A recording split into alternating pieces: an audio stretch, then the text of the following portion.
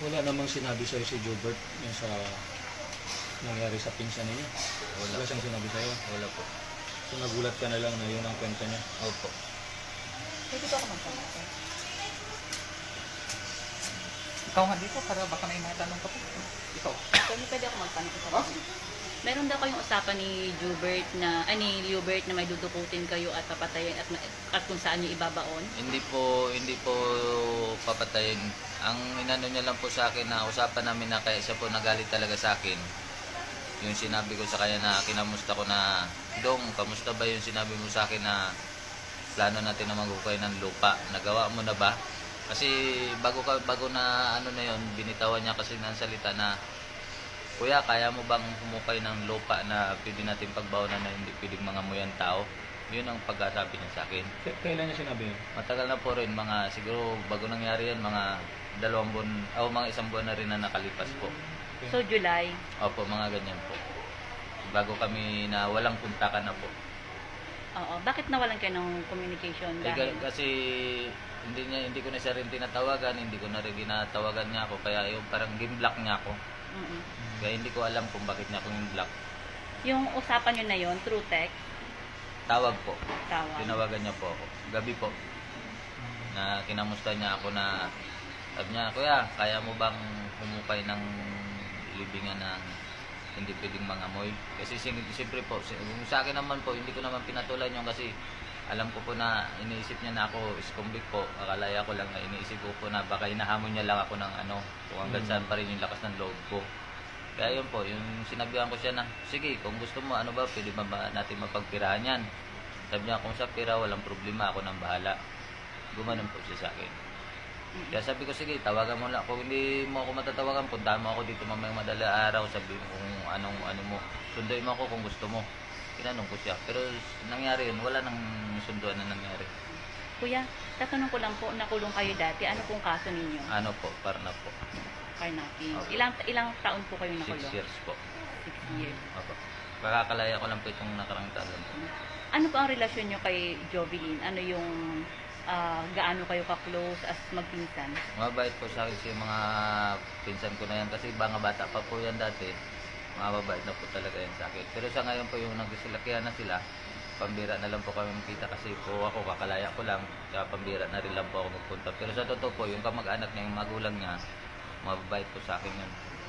Kaya yung simulang nagsasama ako kay Leobert, pinagsasabihan na rin nila ako doon na kahit yung mama ni Leobert, kahit yung sinong auntie ko doon na iwasan ko yung tao na yun.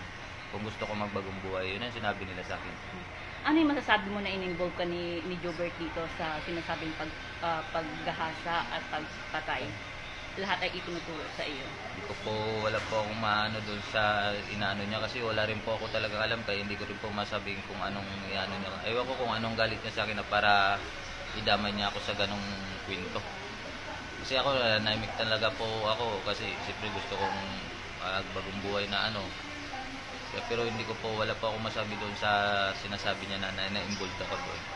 Wala kayong pagnanasa, wala kayong galit Wala kay po, Jovelyn. wala po akong galit siya. May awa, naawa po ako sa mga pinsan ko na yun. Natutuwa nga po ako kasi ganong edad, hindi nga po nagpangasawa dahil ang gusto nila, iawan nila yung magulang nila sa hirap.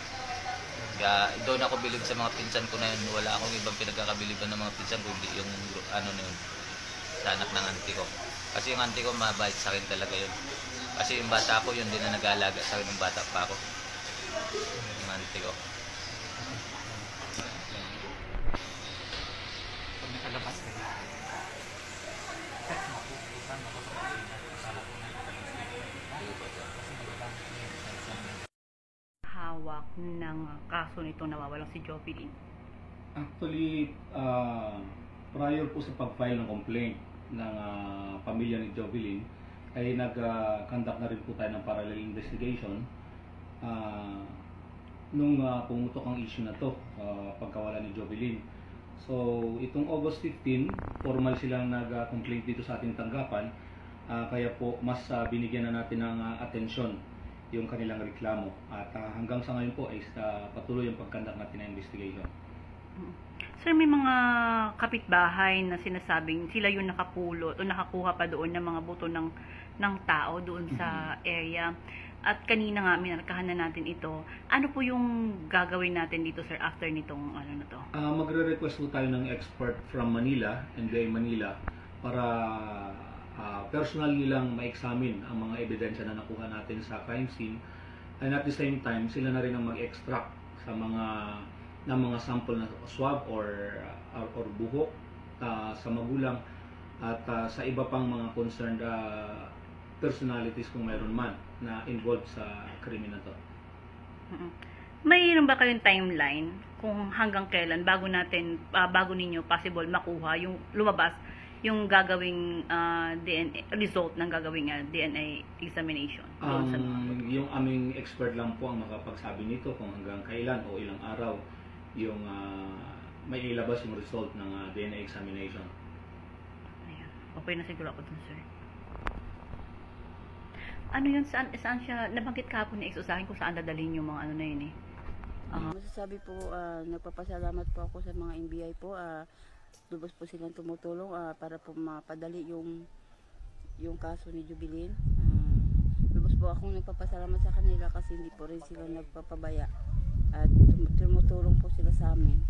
Kampante po ako ngayon kasi marami pong tumutulong sa kaso ng aking anak na para mapabilis yang malaman kung ano po. Uh, pakiramdam ko po talaga sir, buhay po po talaga si Jubilin. Kasi nandun po yung ano ng nanay, kung patay na siya o buhay pa po. Sa akin pakiramdam ko po talaga buhay ang aking anak. Mayroon lang po kasing hindi ko alam kung mayroon lang po siguro sa kanyang humahawak o ano. Pwede pong manawagan na rin.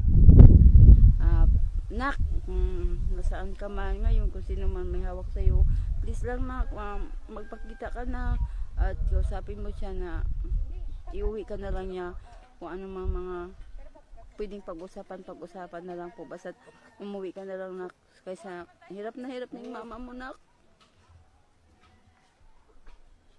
Opo. Hirap na hirap na ako na kung paano ako umpisan.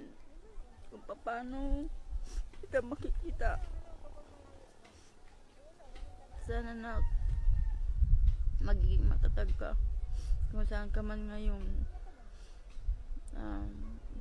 Binagpipray kita. Nandito pa yung mga kapatid mo. Halos wala rin pahinga.